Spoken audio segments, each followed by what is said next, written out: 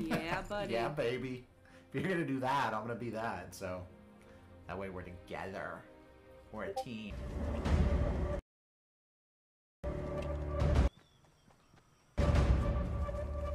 I'm scared. What are we gonna do?